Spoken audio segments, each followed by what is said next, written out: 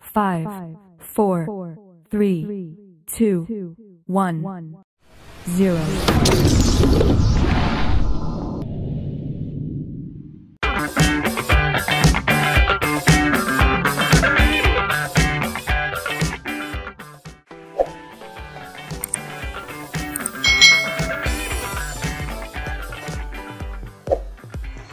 Hai hai hai Selamat datang di channel youtube Kak Citra. Hari ini kita akan belajar bersama-sama lagi di video pembelajaran bersama Kak Citra. Hari ini kita akan belajar khususnya untuk adik-adik yang duduk di kelas 2 Kita belajar di tema 2 Subtema 2 bermain di rumah teman Pembelajaran yang pertama. Kita langsung saja ke materinya. Benny dan teman-teman bermain di rumah Udin. Di rumah Udin ada pohon jambu yang sedang berbuah. Mereka memetik jambu bersama-sama. Setelah itu, mereka bermain lingkaran simpai. Adik-adik, Kak Citra mau tanya nih ke adik-adik semuanya. Pernahkah kalian bermain bersama teman-teman kalian? Pasti pernah ya adik-adik. Bagaimana perasaan kalian ketika kalian bermain bersama teman kalian? Pasti rasanya sangat menyenangkan. Benny datang ke rumah Udin bersama Edo, Siti, dan Lani. Mereka memetik jambu bersama mereka bermain dengan riang. Apa yang sedang dilakukan Benny dan teman-teman? Nah, di sini ada gambarnya nih. Menurut kalian, apa yang sedang dilakukan Benny dan teman-temannya? Ya, Benny dan teman-temannya sedang memetik jambu. Bagaimana cara mereka memetik jambu?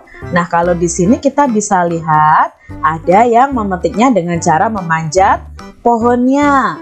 Ada yang menggunakan galah. Nah, galah ini adalah tongkat yang digunakan untuk memetik buah ya. Lalu ada juga yang memetiknya dengan tangan. Itu cara mereka memetik buah jambu. Memetik jambu di rumah Udin. Pohon jambu di rumah Udin sedang berbuah. Udin mengajak Benny dan teman-teman untuk bermain di rumahnya. Mereka memetik jambu yang tumbuh di depan rumah. Buahnya sangat banyak. Udin dengan semangat memanjat pohon jambu. Benny memetik jambu dengan menggunakan galah. Lani memetik jambu yang buahnya tidak terlalu tinggi. Sementara Edo dan Siti mengumpulkan buah jambu yang sudah dipetik. Mereka bermain dengan riang gembira. Nah, di sini dijelaskan bahwa Udin dan teman-temannya sedang memetik jambu di rumah Udin. Ada yang memetiknya dengan menggunakan galah, ada yang naik ke pohon jambunya. Nah, jawablah pertanyaan berikut berdasarkan teks yang kita baca tadi. Yang pertama, apa yang dilakukan Benny dan teman-teman? Apa yang dilakukan Benny dan teman-teman adik-adik? Ya, mereka memetik jambu di rumah Udin. Yang kedua, siapa yang ikut bermain di rumah Udin? Ya, ada Benny, Lani, Siti, dan Edo. Pertanyaan yang ketiga, di mana Benny dan teman-teman memetik jambu? Ya, di depan rumah Udin. Bagaimana cara Benny dan teman-teman memetik jambu? Nah, tadi ada beberapa cara ya.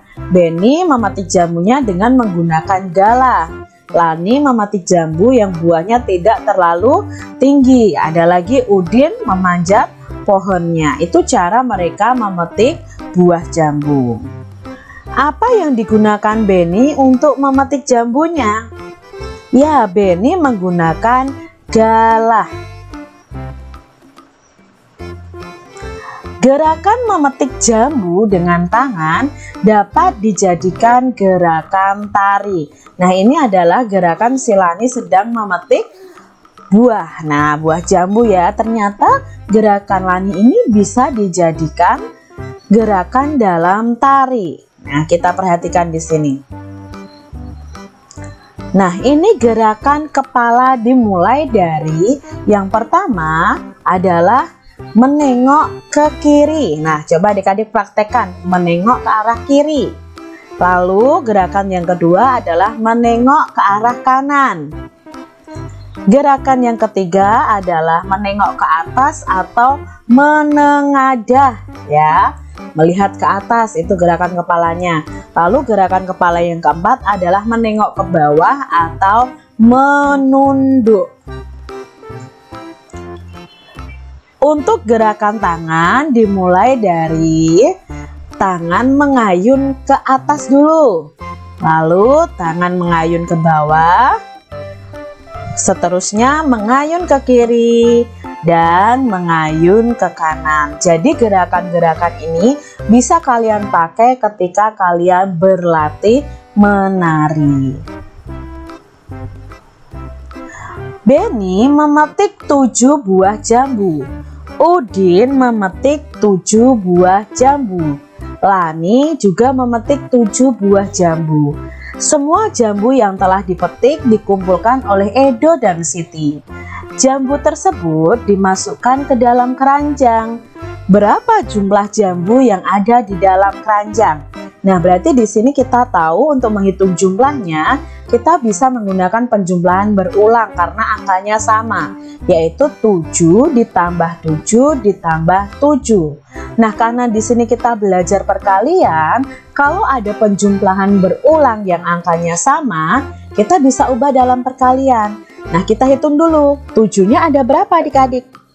Ya, ada tiga. Berarti 3 dikali angka yang muncul itu. Angka yang muncul adalah angka 7, berarti 3 dikali 7.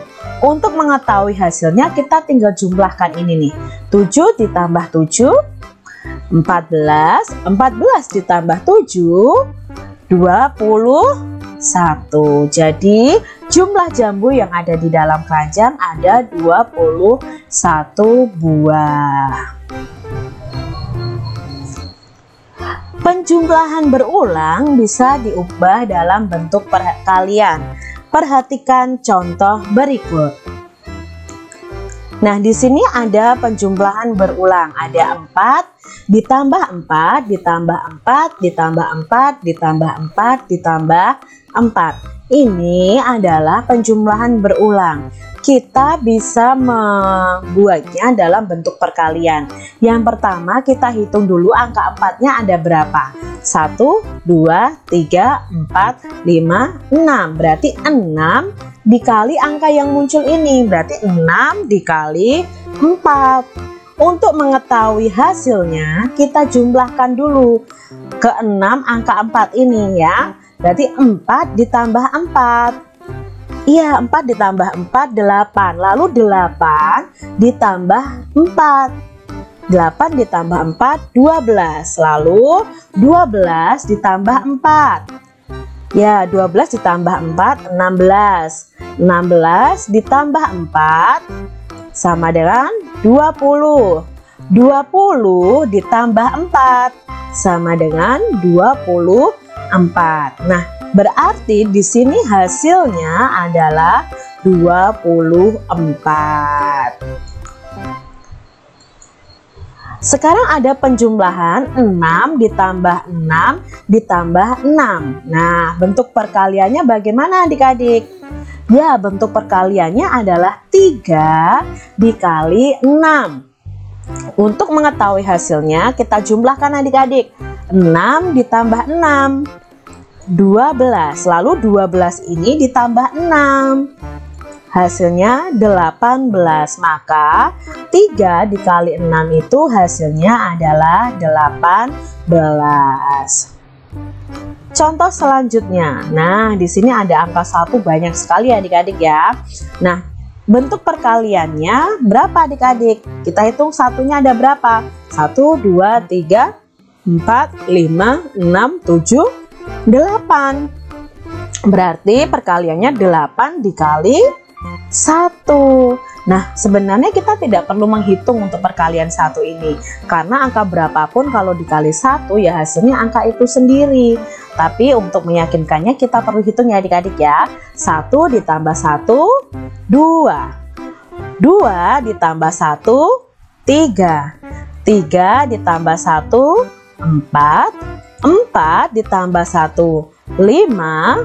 Lima ditambah satu, enam. 6 ditambah 1 7 7 ditambah 1 8 jadi hasilnya adalah 8 Dayu mempunyai dua buah kotak pensil. Masing-masing kotak berisi 9 pensil Jumlah pensil dayu seluruhnya adalah Nah ini kita buat dalam bentuk perkalian. Maka bentuk perkaliannya karena ada dua kotak pensil Dan masing-masing kotaknya ada 9 Berarti perkaliannya adalah 2 dikali 9 Lalu kita uh, ubah dalam penjumlahan berulang untuk mengetahui hasilnya kita tulis angka yang belakang ini, angka 9 ini sebanyak angka yang di depan. Berarti kita menulis angka 9-nya sebanyak dua kali. Berarti 9 ditambah 9. Hasilnya 9 ditambah 9 adalah 18. Maka hasilnya adalah 18. Jumlah pensil dayu seluruhnya adalah 18. Benny membeli permen beraneka rasa. Permen tersebut dimasukkan ke dalam tujuh toples. Nah, setiap toplesnya berisi tujuh permen. Jumlah permen yang dibeli Benny seluruhnya adalah ini bukan 7 ditambah 7 adik-adik. Ingat ya konsep perkalian. Jadi di sini Benny punya 7 toples. Jadi masing-masing toples isinya 7. Nah, maka bentuk perkaliannya adalah 7 dikali 7 Nah untuk mencari jawabannya kita ubah dalam bentuk penjumlahan berulang. Angka yang belakang ditulis sebanyak angka yang depan.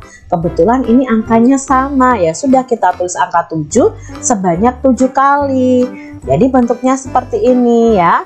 Angka 7 nya ada 7 Lalu kita cari hasilnya. 7 ditambah 7 14 14 ditambah 7 21 21 ditambah 7 28 28 ditambah 7 35 35 ditambah 7 42 42 ditambah 7 49 jadi hasilnya adalah 49. Benny, Udin, dan di Edo diminta meniup balon pada acara ulang tahun Mei. Masing-masing mereka meniup 4 balon.